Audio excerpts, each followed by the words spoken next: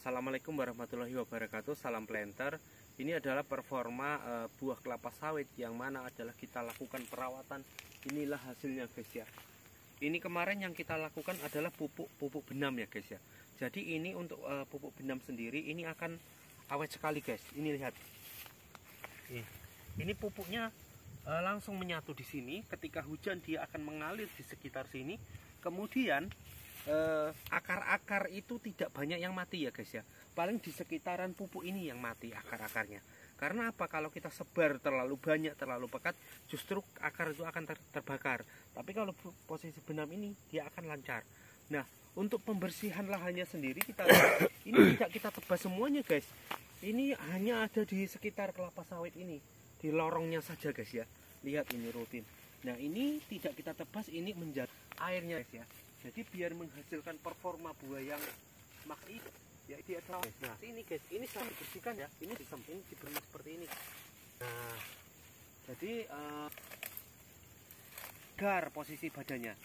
Daun jah dia sekali. Lihatlah daunnya ini guys. Nah ini adalah ini adalah yang merah-merah ini guys. Namanya daun guys. Ini daun ini nggak apa-apa. Tapi udah karena naik ke atas itu kita lakukan penyemprotan ya guys. Untuk penyemprotan sendiri melakukan mengkenor dok bok dok 6 WP ini akan luntur kalau kita semprot.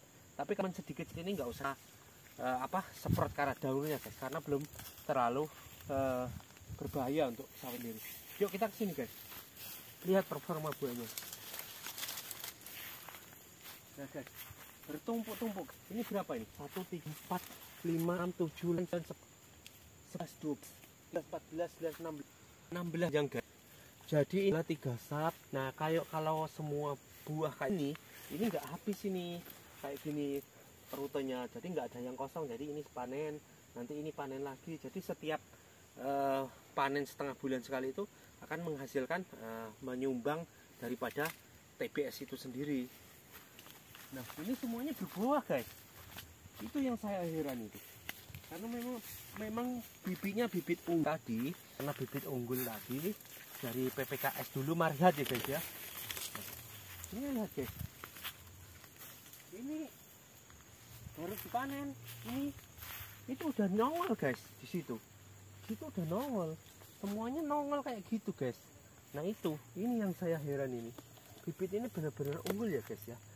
Kita sendiri ini untuk tonnya sendiri per 15 hari itu kita panenkan per 15 hari itu 1,5 ton guys rata-rata. Sekitar 1,5 ton 1,6 1,4 1,2 sekitar segitu. Yang paling terburuk dari kebun ini adalah 900 kilo. Itu paling kecil.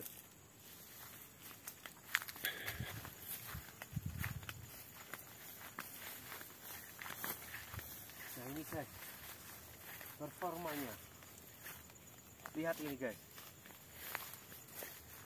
Nah, buah semua. Nah ini teman-teman kita tahu ini adalah namanya uh, serangga penyerbuk. Untuk mengundang serangga penyerbuk ya ini guys. Untuk uh, biar aktif serangga penyerbuknya kita menggunakan ini. Ini adalah ada nih di toko. Online tapi belinya. Di Bogor.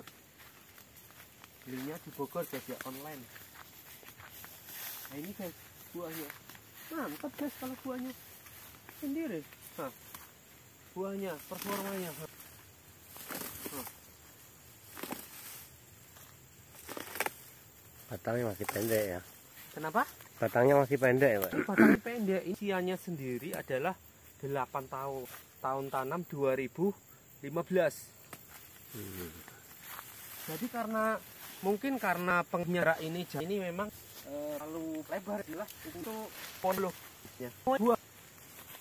Semuanya nah, pelepnya kayak jatuh ya jadi ketemu antar pak guys ini guys. Ketemu pelepahnya di sekitar meter guys. Ini pelepah. 5,5 sampai uh, 6 maksimal kayaknya ini. Performanya buahnya lihat. itu di dalam itu buah lihat itu di dalam. Lihat.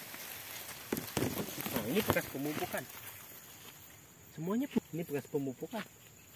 Masih sangat pendek umur 8 tahun, Mbak ya. Bagus ya. Sangat pendek karena memang jarak tanam tadi. Jadi ini bisa jatuh bener-bener tuh. Ini megar itu udah nongol lagi.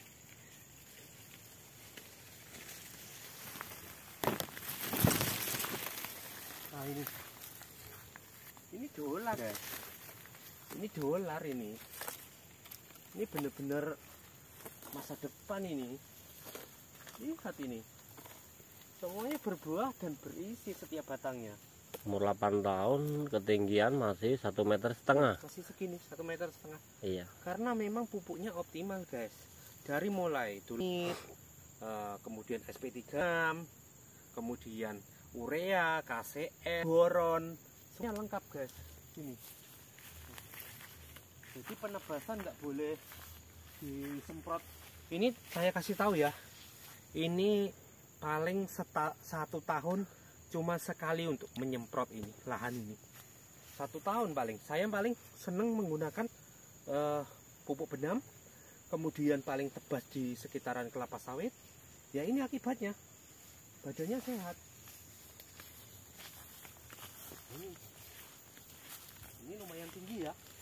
Kalau yang ini lumayan ini. 2 meter ini ini. Dua meteran ini jarang tapi yang dua jarang ya? Jarang. Maksimal eh, mayoritasnya satu meter setengah ya? Mayoritas satu meter setengah. Ini ini pelepahnya. Ini kayaknya bibitnya kok pelepahnya panjang yang ini. Karena masih dari ini. Tapi masih ideal. Nah ini. Semuanya berbuah guys. Tuh dan dompet lagi yang di atas tuh. Nah ayo ke sini guys berarti kalau ukuran satu meter udah membuat eh, hasil yang bagus ya Pak ya? 10 kali 10 ya? Kalau biasa ukuran biasa itu kan 8 kali 9 itu. Itu 8 kayaknya cepat tinggi kayaknya batangnya ya. Jadi gini, kalau untuk uh, pelepah apa penanaman kelapa sen- sawit sendiri tidak masalah untuk lap ukuran 8 sembi- 8 kali 9 atau 9 kali 9. Yang penting ketahui bibitnya uh, sifatnya panjang pelepahnya berapa gitu. Jangan kita pelepah panjang tapi ukuran 7 kali 7 atau 7 kali 8. Jadi paling ide itu 9 meter bilah. Masih tuh lebar. Yuk, guys.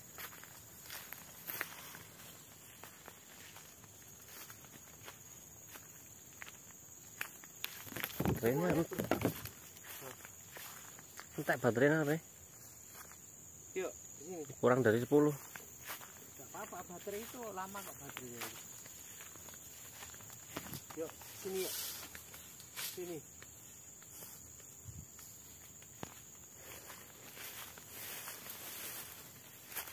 Tuh buahnya.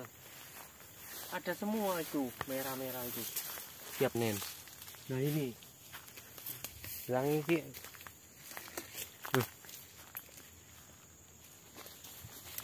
Yuk, nah ini, ikuti. Nah. Mantap ya buahnya. PPKS ya? Berani jamin bagus ya. Ya, positif ya. Ya saya sudah membuktikan sendiri. Kalau untuk 30 ton per tahun itu ya tercapai lah PPKS kalau dirawat ya. Intinya dirawatannya ya. Ya perawatannya sangat penting. Karena dia butuh makan banyak butuh air juga banyak seperti itu. Nah ini pemupukan borat kemarin nih di ketiak ya mungkin nah ini borat kemarin. Jadi ini masuknya sedikit-sedikit di dalam tanah dia ketika hujan turun ke batang dia langsung seret pelan-pelan gitu. Jadi mungkin itu cukup sekian guys ya. Jika mau ada yang ditanyakan berapa kilo dosis pupuk atau segala macam silakan komen. Komentar atau nanti bisa minta nomor HP saya. Nanti saya kirimkan dosisnya. Sudah lihat sendiri kan performanya buah kita keliling tadi semuanya berbuah.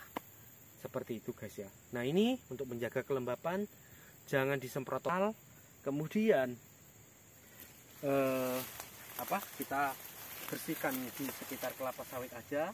Seperti itu. Jangan sampai kita melakukan penyemprotan total. Kalau penyemprotan total itu dia akan mematikan serangga penyerbuk yaitu Elasticus nah ini bisa kalau kayak gini kan alamnya terjaga pohon sawitnya seger semuanya seger dan kita dapat cuan seperti itu. Terima kasih. Wassalamualaikum warahmatullahi wabarakatuh. Salam planter luar biasa